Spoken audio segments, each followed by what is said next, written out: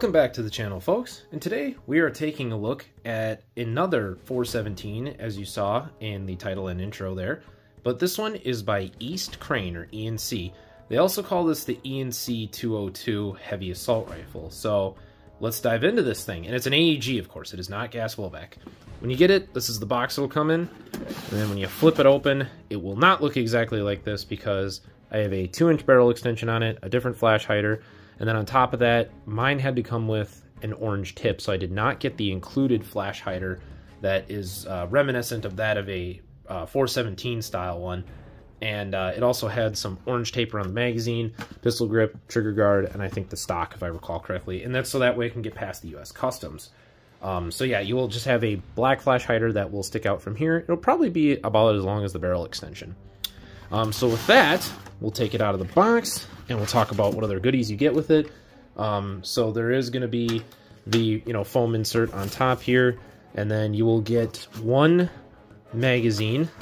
Uh, it is a 110 round mid cap, and then you get a Deans to Tamiya, Tamiya, tomato, tomato, potato, potato adapter, and then I think this was from Taiwangun themselves. That is where I bought it. It's ironically based in Poland. Um, this does look to be uh, Polish, and uh, they chronoed it at 439 feet per second with uh, a 0.20 gram BB. Um, so I chose the standard version of it, which is rated at 450, and then it's the EC202 as it says. Kind of neat, right?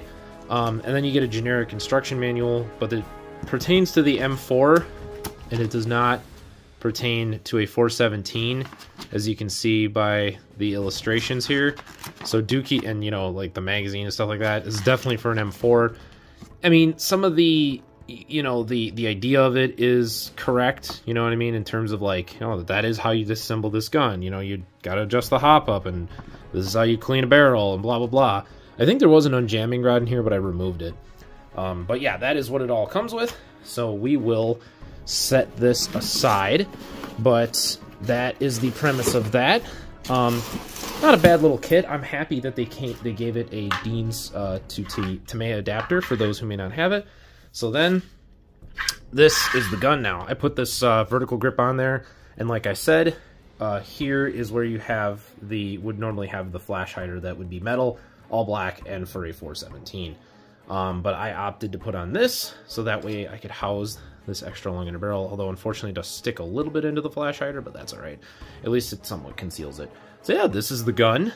I think it looks pretty slick. I'll just do a little bit of that, showing off how it looks. Nice silver mock bolt carrier there, and then a little warning sticker underneath the dust cover. Nice rail kit, and then there's the front end a little bit there. So yeah, that is the 417. Now, let's talk about this thing a little bit front to back. Now let me get a magnet out. So I think the yeah the flash hider that I bought is steel. Barrel extension is not. This barrel is not. This is not. Uh, something is made from steel in this sight, so that's good. Obviously, you know, no steel here. The rear sight does appear to have no steel in it other than that screw. Um, and then moving up, we have some steel somewhere in here. Not there though. Nothing Oh, that screw, this pin, that pin, this pin. But otherwise, oh, this is made of steel. Otherwise, it's there's not a whole lot of steel here. It's mostly just aluminum and maybe some sort of a metal alloy uh, that this thing is made out of. But it's pretty solid. I mean, no no wobble there. Barrel doesn't wobble. Again, no rail wobble. Upper and lower receiver is very minimal play, which is fine. Even the stock is relatively solid. It is a six position adjustable stock, and then you have the HK style textured pistol grip with that plug thingy at the bottom and the two screws at the front that hold down the motor plate here. It's a little fat because it's an AEG one, but it has that right that rest hand rest that goes up to there on the receiver, and then you have the like you know mock like buffer tube nut here, and uh, as far as other features go, this thing does have 14 millimeter counterclockwise threads, so righty loosey and then lefty tighty, perfect for barrel extensions like this, tracer suppressor, etc. You have the classic HK style semi-hooded uh, front sight, and then the classic HK style sort of rotating drum rear sight So you can rotate to the different levels right there. I like to just have it like that. I think they look really cool, but they're not the most like practical. They don't really work all that well. Um, but yeah, and then of course you have a monolithic Picatinny upper, Picatinny rails all over this, so no M-LOK or KeyMod or anything like that. You have fully ambidextrous functions, so you have ambidextrous selector switch, which works pretty well. It's actually very responsive and functional. It's a little stiff when going from semi into safe, but uh, it, it kind of wears itself out once you use the gun a little bit, so it's not too bad over time. Same thing goes with the ambidextrous magazine release. So there's that. Kind of nice. You also even have an ambidextrous MOK bolt release slash catch, so I'll show you that. Oops, there we go. Kind of neat, right? And then, like I said, six position LE stock, even an ambidextrous charging handle, which is pretty cool. So all around, this gun's very ambi friendly. And then you have a very large uh, trigger guard here for yourself, so that way if you're wearing gloves and playing in the cold, you'll be able to fit your finger through there. And then, as you can see on the bottom, E&C 202. And then I guess this is the serial number for it, which is kind of cool. I have no idea what the DH stands for. So yeah. All right. So externally, overall, is it like a VFC? Nah. But is it pretty okay? Yeah. I mean, it, I'd say it's on par with like a SEMA or CYMA Platinum, however you want to say that. It's pretty decent. But uh, I think we should start talking about some of the internals now, which is where this gun shines a little bit, but also has a couple of downfalls to it.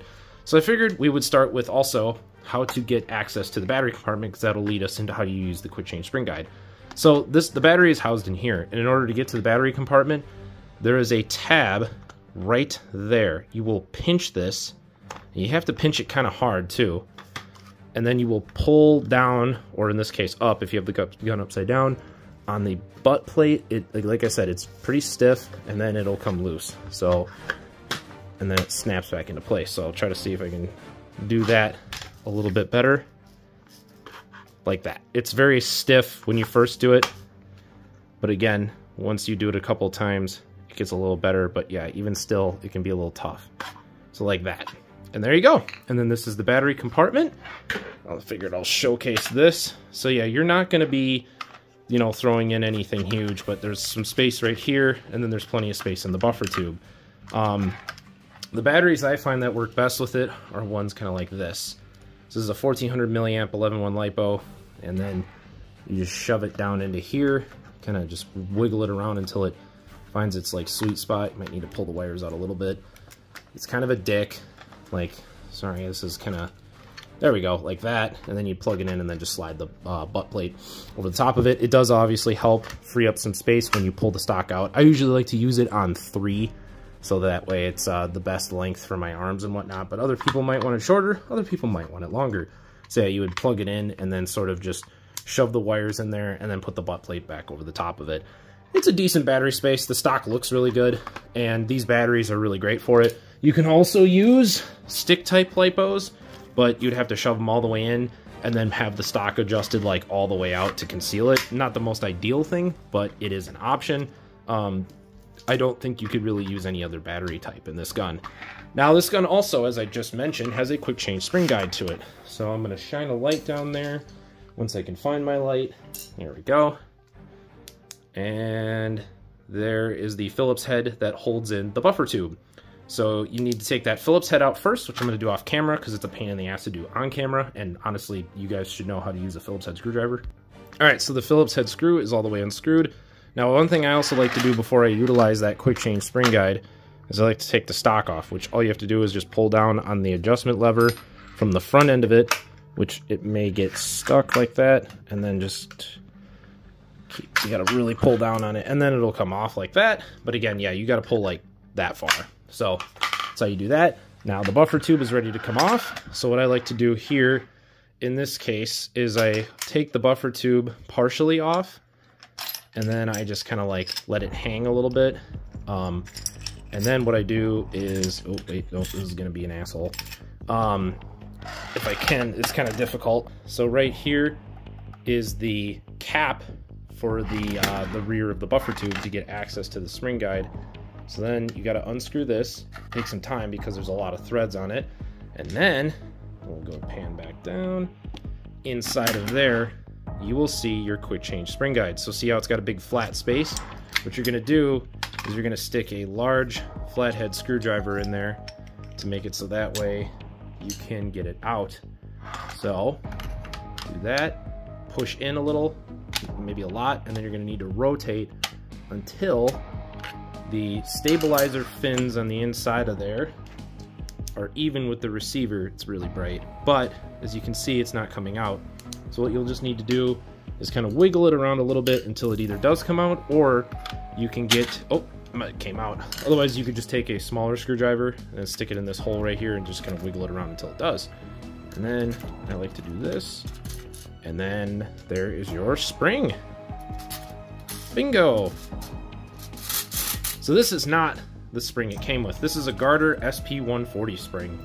I wanted this thing to shoot 2.2 joules with some .36s on an aftermarket inner barrel and bucking setup.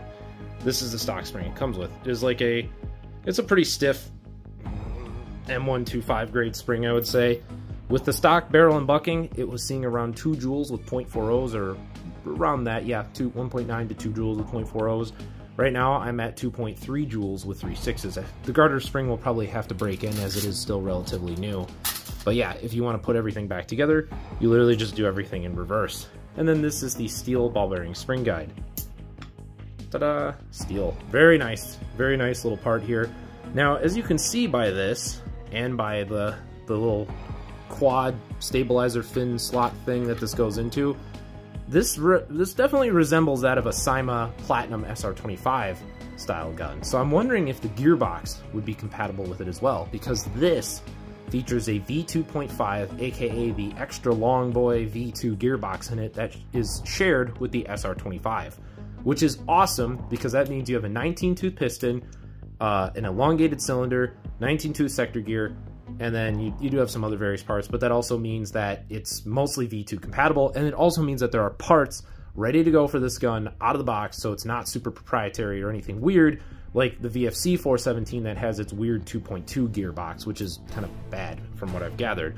It's a pretty fragile gearbox, whereas this one is just literally a beefy V2. So with that said, well, a long V2, I'm to put this back together off camera, just so that way it makes it easier, but you literally just do everything in reverse. Alright, gun is back together now, and then I figured I will show you how to slide apart the receivers. So I always make sure that the magazine well is clear, and then I like to have the bolt forward like that. Close up the dust cover, which by the way, this is made of plastic, but so is the real one. So yeah, don't uh, don't fret about that. So to do this, punch out the rear or the front pin, which is you can always do it by hand even for your first time. And then the receivers, as you saw, are just gonna want to like jump apart basically. Um, so they're gonna start sliding apart horizontally and then wiggle the charging handle around because there's these ridges at the top of the gearbox shell that it likes to get caught on, and there you go. That is pretty simple, and this gives you access to your hop-up and inner barrel setup, which is down here. We're going to talk about that a little bit, but first let's just talk about the gearbox. So, this is the V2.5. See how the cylinder is extra huge? Let me go get a stock, like, regular cylinder to show the difference. Alright, so here is a regular regular AEG, or uh, yeah, I guess AEG cylinder versus the 2.5. Notice how much extra space it has. Like, that's a lot of extra room, so that means it has a lot of extra volume. And they made it a Type O, meaning that there is no port anywhere in it, meaning that you get maximum air volume. There's even a nice couple of cutouts here for you to see your piston when it cycles, which is kind of cool. Um, but yeah, so this is the V2.5, and as you can see, it has an aluminum air nozzle, which has an O-ring on the inside of it. I'm to put a photo of the gearbox that was taken and put up onto Taiwangun's website. I'll put a link in the description below so that way you guys can look for yourself and look at it in depth. But this has, like I said, a stainless, I wonder if, is it steel or is it aluminum? No, it's aluminum. Um, stainless Type O or full cylinder, aluminum O-ring air nozzle, double O-ring aluminum uh, or brass possibly, um, cylinder head with an extra thick padding on the back of it for shock absorption, AOE correction, and it dampens the noise a little bit. Um, on top of that, inside of here, it features a full metal or a full steel tooth piston with the second tooth removed for better AOE or angle of engagement, an aluminum ported piston head for better compression, and these parts are also going to get better compression. You already saw the steel ball bearing spring guide inside of there. It has steel gears that are mediocre with decent shimming. It definitely sounds better with an aftermarket motor. Uh, you heard how it sounded in the very beginning introduction. You're going to hear that it sounds better now because I have an ASG Ultimate Series, one of those CNC motors that has the 22K and 22 TPA uh, torque rating, and it's definitely much torqueier. It's hard to tell like in this because this pistol grip is so thick, but you can see that it wants to like like stick to it. Let me see if I can show something that's a little less. Uh, it's kind of hard to show, but you can tell it wants to pick it up, but it's just not, you know, it's not there. But let's see. Oh, yeah, that kind of stuck on there a little longer. But yeah, it's hard to showcase when it's inside of this thick pistol grip. Uh, so motor's lackluster, gears are a little lackluster, but it has 8 millimeter bearings, and then it also has a uh, regular wiring harness, but it does already have a MOSFET in it, which is what this is. So it allows for you to use, you know, LiPos more safely without a risk of burning out your trigger contacts then you have Dean's right out of the box, or a T-plug, if you will, which is what that adapter is for. So all in all, it's not too bad out of the box in regards to the gearbox. The gears are basically the only thing that really needs to go, and the motor. Which, by the way, let me go get that stock motor. All right, here's the factory motor. I think if you can read that, I don't know if you can though, but it is a Chao-Li motor, which is kind of cool. I know that used to be a big thing amongst the teching groups. Yeah, you're not going to be able to read it. It's being stupid. Um, you can kind of see that it says Chao-Li motor right around here, but um, it's not very strong. It's not very magnetic. I mean, it barely, it can barely get anything metal to stick to it. Well, yeah, it gets that, but it's like, it's really weak. Whereas this can get it to stick more easily through the pistol grip. That's how much torqueier it is, uh, because the magnets are much stronger. Um, but yeah, it does at least have a stiff spring around the tower here, which helps keep it locked into place better, which is actually like really nice. I'm going to keep that around. But yeah, it's not very torquey at all. The pinion gear looks decent though, no damage done to it. Uh, it did pull back the stock spring alright, but it was a little slow, a little sluggish, a little noisy too. But that's the stock motor. And then let's talk about the barrel and hop-up unit. So ordinarily, around the inner barrel. This is also an aftermarket one by Action Army. It's a it's their 6.03 Type 4 barrel. Uh, inside of here, like I have uh, one of those barrel stabilizer rings, but normally it comes with this like plastic plug to go into place of that. It has a very long and stiff barrel spring to make it so the hop up is always pinned up against the gearbox. This barrel clip on here is kind of garbage. It likes to come loose very easily no matter what setup you use. But currently inside of there, I have a Modify flat hop bucking and nub, and then again this Action Army 603. But this is the stock unit, and I'm not gonna lie, it looks a lot like an SHS plastic M4 style hop up unit. And to turn the hop up, you go down, and then to uh, you have less hop up, turning the wheel up. So it's a rotary style. So I like to say ease up on the hop up, and then like come down on the BB. I don't know, stupid.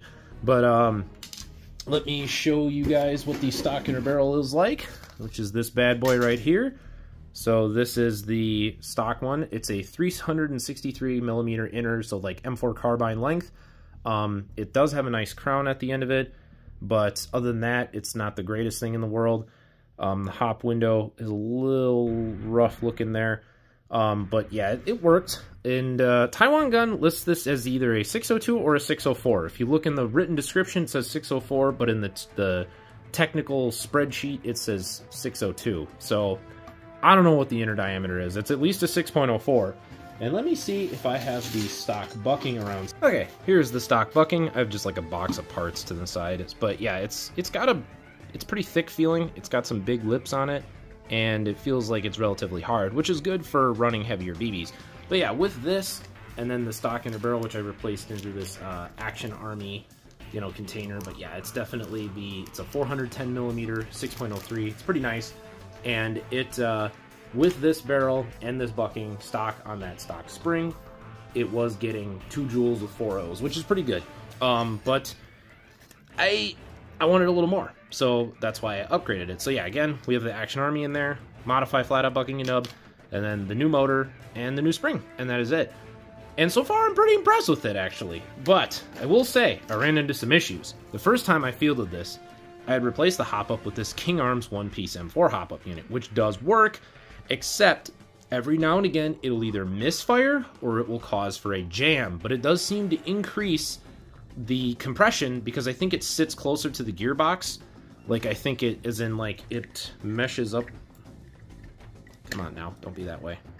It meshes up with the gearbox shell a little bit more flushly like that. But because of that, I think that makes it so that way the air nozzle is a little too in like far into the bucking, so it causes for some jams sometimes. And but it does improve the compression of it, so you can get a lot more velocity out of a weaker spring. I was using the stock spring, and I was and with that swap to a Lambda 6.01 or the Action Army 6.03 with the modified flat out bucking nub, I was seeing 2.2 joules with 0.36s, which is pretty toasty. That's the equivalent of 485 feet per second with a 2.0. But it would jam, and it would also misfire or misfeed, where it would just not feed at all for a shot every now and again. It happened about once every 15 to 20 shots. Didn't matter what mag I used because I did also get this with six spare magazines. Here's one of the spares. Um, this they seem to fit better into the mag well too. Like, check that out. So it drops freely, and then this is the one that came in with it in the box.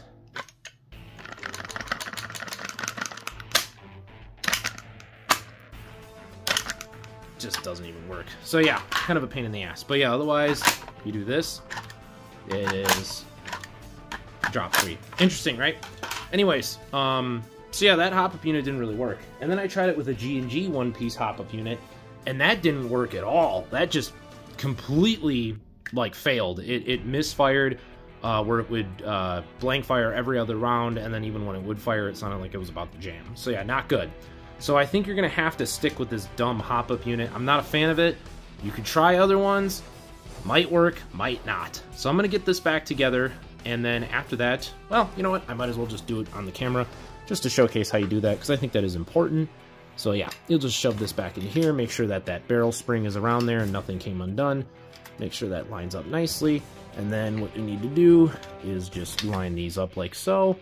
And then what I like to do is I kind of like to hold it upside down, get it sort of, yep, yep, yep, yep.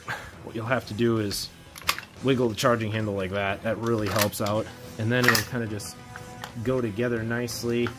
Yeah, hey, it would help if the hop-up unit was straightened out. There it goes. Okay. And then it should just click together.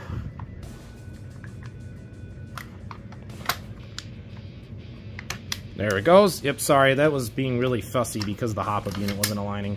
And then it should be able to look like that. And then you're good to go.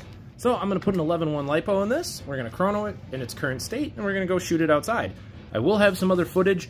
I'm going to put chrono footage from my previous recording when I got this thing brand new out of the box uh, ahead of this, as well as the shooting test, and then I'm going to put the uh, what it's like now after I upgraded it afterwards, if that makes sense. So you're going to get my original reaction to it coming up, my original chronograph reading when the gun was stock, when I first got it, and then you're going to get how it is now. So here it goes. It's ready to fire in full auto. So here we go. By the way, the, the weight, or the, excuse me, the brand of the BB is G&G. Wow.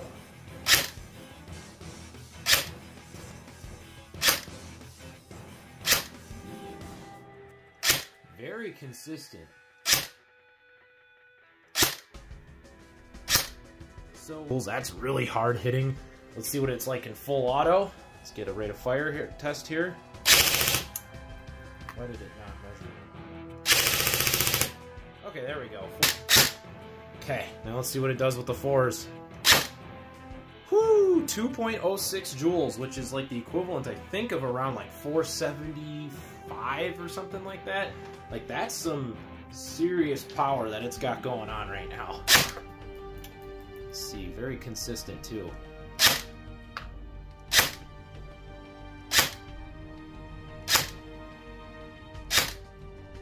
That was the lowest FPS there, and the highest was 335, so not a very big deviance. So yeah, we're averaging around 333. I mean, there was 331.9. Let's do one more. Yeah, 332. So around 2.06-ish joules. Yeah, that's definitely really hard hitting. Let me let me see what it's like with the hop up all the way off out of curiosity. 2.08 joules. Okay, so it's about the same. Let me turn. I'm just meddling with the hop up here, just to see if that does affect it at all. I don't think it's going to. That did a little bit, yeah. Okay, so that dropped it down to 1.92 with the hop up cranked up a little bit. So, yeah, I turned it down a bit. We're back up to 2.01. So yeah, it definitely joule creeps. Okay, that's a little better. It doesn't help that the shade's partially covering the target, but alright. Look for the white 4.0s flying from above the camera.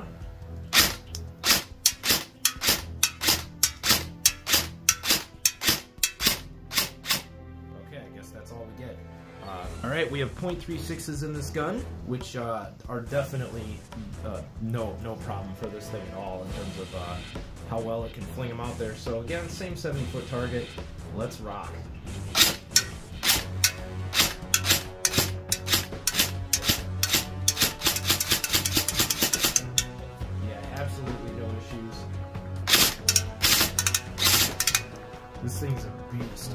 Shoot at a further away Okay, so we're going to just fire some 3.6s at the middle tree right there. And uh, that tree is over 100 feet away. So uh, we're going to see how this thing looks. And uh, it's sorry that there's not a target hanging on it to guarantee that I'm hitting it or anything, but you'll hear it once the BBs strike it.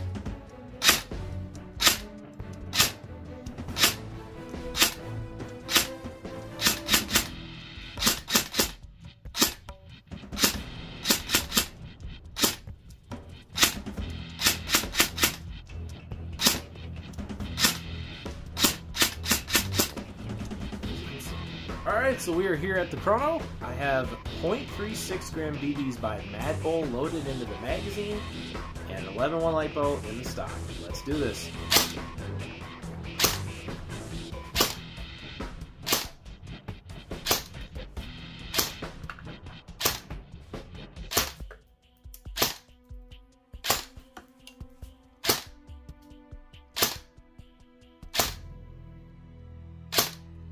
Other than that one that dropped down to 369 for no reason, you can see it's pretty consistent. 2.32 joules or 2.33 joules is like 495 at the 2.0, so it's pretty toasty. This is definitely a very hard-hitting rifle. I am not going to go full auto with this thing anymore, because I don't want to kill the gearbox. This has an SP140 spring in it. I'm not saying the gearbox is going to die. I've heard that the E&C gearboxes are pretty strong, but I don't really feel like risking it. Um, I'll throw some 2.0s in here for you guys just to see if it has any kind of like joule drop or anything like that. You know, if the joules decrease after I do this. But yeah, this is definitely not a soft gun. Okay, so now I have it loaded with a few 2.0s, and as you can see, if it only shot 370 with a 2.0, that's a drastic difference in terms of the muzzle energy. But here we go. Oh, there it goes. I think that first BB was like a 3.6 still in there. 502 feet per second. Wow. Oh my god, it shattered the BB. 500 feet per second. That's a lot of power with the Guarder SP140 spring.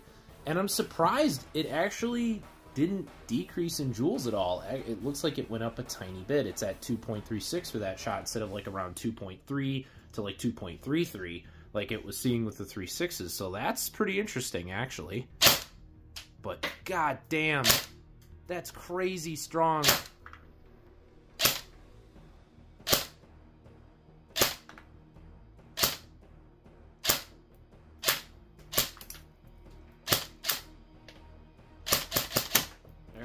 Now it's out of ammo. That one's almost 2.4 joules. Oh, that's jam. That was strange. I think it was just because I was holding it upside down. Wow, is that a strong gun. Okay, now let's go shoot it outside at my targets. Alright, so you guys are zoomed in on the 70 foot target, which is like 21, 22 meters. We have the 417 and we have it with 0.36 gram BBs. We're going to be shooting at the target. It's a 9 inch diameter target. It's a little bit bigger than a headshot size target. Let's go.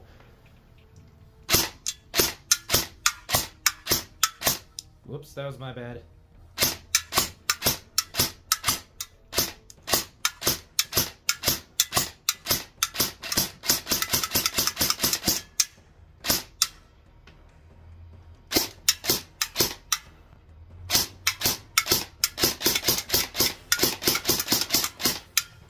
Can see at 70 feet, unless you suck like me, you're not going to miss, and it's an easy target with this gun in this current setup. And when it was stock, it was still pretty good at this uh, range. So now we're going to zoom in at my 125 foot target, or the 40 meter target, roughly.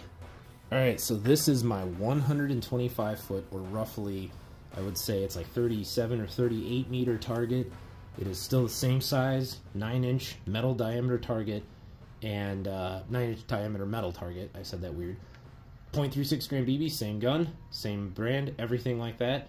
And we're gonna shoot all the way at it. It's really far away. I might miss my first couple shots as I'm trying to like acquire my aim.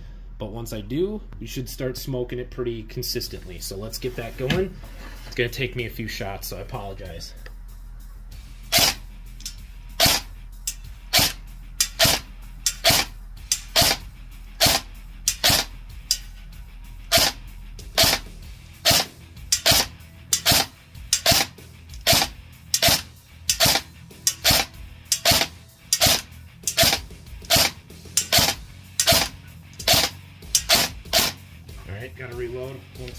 Got a spare mag with me.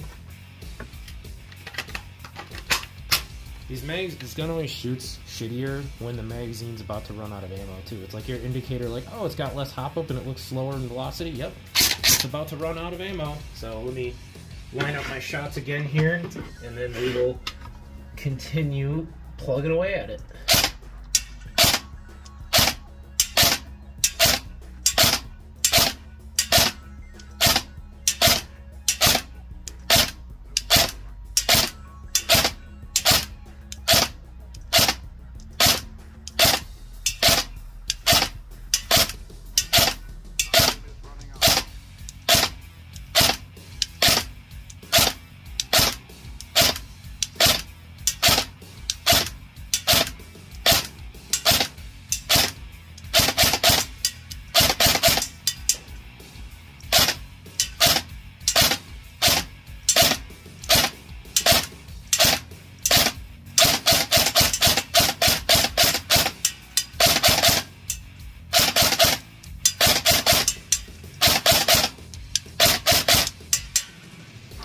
Think you get the idea. This is definitely a long range target to shoot at. Okay, so final thoughts on the gun. Excuse the mess, but I like this gun quite a bit. So as you saw, once I sort of re like was able to acquire my target, I was smoking the target pretty consistently. I did miss a few shots, and there were sometimes where the BB would drop and it would hit the post the target was connected to. You'd hear like that tick, tick noise, um, but obviously you could hear it when it would hit because it'd be like tink, tink. So it was doing pretty good. Um, if I had a better, if I had like an optic instead of having to try to use these iron sights to aim, oh man, I bet you I'd be even more accurate with it. That's definitely more me than I think the gun, to be honest. Um, I can take that fall, but the gun is a little inconsistent in terms of like long range shooting. It's not the best, but as you saw, those BBs had a lot of room to travel. Um, again, like don't mind, uh, you know, like don't worry about, you know, them flying too far past the target. Um, there's a big ditch behind those trees, so yeah, they're just gonna land and hit the ditch. But yeah, it is it is a powerful gun, and it definitely has a lot of range potential. And I would say that right out of the box, is it like a DMR? Nah, it needs a little work before it is. But would it give you an extra advantage over regular AGs at the power level it had out of the box? Yes, it has more range, a little bit more accurate than your average $280 AG, which is what this retails for on Taiwangun. On top of that, it definitely hits hard, and like I said, it does fly farther. Um, any, you know, the gripes I've just had about this gun, sometimes the mid caps, if you overfill them on accident, they start to get stupid in how they feed. They don't like 4.0s, it seems. It seems like 0.36s is kind of their limit. 4.0s, they get a little weird on the feeding, but you could probably just put stiffer magazine springs inside of there to make them feed with 4.0s better. Uh, they're kind of plasticky and cheap, but they're like 14 bucks, so what do you expect, right? I also fielded it Another time where I had the stock hop-up unit, but I had a Lambda 601 with the modified flat-out bucking nub, and it just, it was dog shit. Inconsistent as hell all of a sudden out of the blue. Some BBs would be like, whoa, and fly up, and then some would just kind of fly straight. And I'm like, okay. Um, on top of that, uh, the other thing too is like just how like weird it is about the different buckings and barrels used in there. I've tried the G&G green, a Krytac blue, uh, Maple Leaf Decepticon, Maple Leaf Super Macaron, 60 or 70 degree Decepticon, 60 degree Super Macaron, and then the modified flat out bucking nub, and then the stock one. And this one is the best one. Um, the other ones it didn't take too kindly to. It liked the Krytac one, but it lost a lot of velocity with it. But that one was really accurate in here. So that one's not a bad option. But the G&G Green it sucked with. It lost way too much velocity, and that thing cannot hop heavy BBs very well. At least not, at least it didn't for me. Um, it seems to do fine with like 3.0s, 3.2s, but anything beyond 3.2s and it just struggles. Uh, same thing with the Krytac. The Krytac one did okay with 3.6s though, but 4.0s it was like, for some reason these hop-up units just don't like the Maple Leaf one, so don't recommend those. Um, and then the stock one just kind of blows because it's just a standard speed bump style one. It's fine when it's left alone, but it's not very good when you're trying to use it like as a DMR bucking. Um, the Lambda 601 did not like this this uh, this hop up unit, the stock one. Not a fan of it. It was a fan of the King Arms until it would jam. And then lastly, I would just say is another thing to note for those of you who are realism buffs is the stock. The stock, the buffer tube in particular, is not a 417 spec buffer tube. Any regular M4 stock can fit on here. And why don't I show you guys that? All right, so I'll take off the stock real quick. You just gotta you gotta mind the wires when you do this. You don't want to get them caught up on it and crush it or anything. All right, so there you go. So then there's that. This is off of a Cyma Platinum M4. So just shove the wires through there, feed it through. Be careful. Okay. There's that. And as you can see, there it goes. Except it's just stuck because it's an ass. There we go. See? Now you can put a regular stock on there, which is kind of handy. It's a double-edged sword thing, right? If you want a different stock on here to house a different, um, you know, like a nunchuck style battery, like that would fit in here, you can go for it. You can also put the classic HK416 style one on there, the one that's like chunkier, um, or whatever you want on there. But it's not a 417 spec buffer, which I know bothers a lot of people. And then also, it I don't know if this is how it's supposed to look, the gas block, but that looks kind of cheap and chintzy. I feel like my VFC one looked better. But otherwise, I don't really have a whole lot of complaints. I would say the motor definitely needs to go, barrel bucking could be changed, and then eventually I'd like to replace the gears. But overall, I'm pretty happy with this gun. Would I recommend it? I would say yes. Whether you're looking for a good kind of battle rifle, heavy assault rifle, a DMR platform to build off of, or just like an overall decent AEG, this is it. Um, it was 280 bucks. The shipping was $40, so it's 320 for the gun, and then the magazines were 14 or 15 bucks a piece, 110 round mid caps. It's a good setup. All in all, I got six extra mags, so seven mags total with the gun, and it was only about 405 bucks shipped to my door. Not too bad. Taiwangun was too was was very quick about it. I think it arrived within 10 days. On top of that, it made it through customs just fine because I live in the United States of America. So I was really happy with this. The other thing just to note too is it doesn't have any HK trades, although I did see on a Reddit post where a guy got one of these and it had HK trades on it.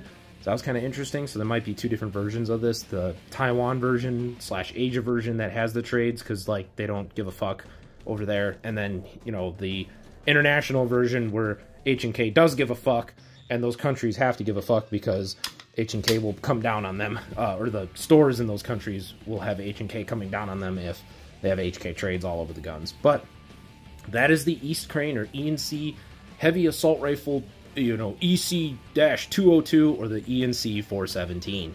Check it out on TaiwanGun.com or other websites. It just came out a few months ago, so it's pretty new to the market. We might see some more upgrades for this, but I like it. I love that it has a V2.5 gearbox. It's solid. I got it shooting pretty good, and it's one of my favorite replicas ever. I love the 417. I'm really happy with it. So hopefully the next time I field it, now that I have the different inner barrel bucking or inner barrel and hop up setup, and I'm using three sixes, hopefully this thing works really good. Because uh, I had troubles with it my first couple times because I, you know, I messed with it. If I had left it stock, it probably would have been a lot of fun too. So with that said, guys, stay tuned for more content. Check out the EC202, see if it's for you. And as always, happy airsofting.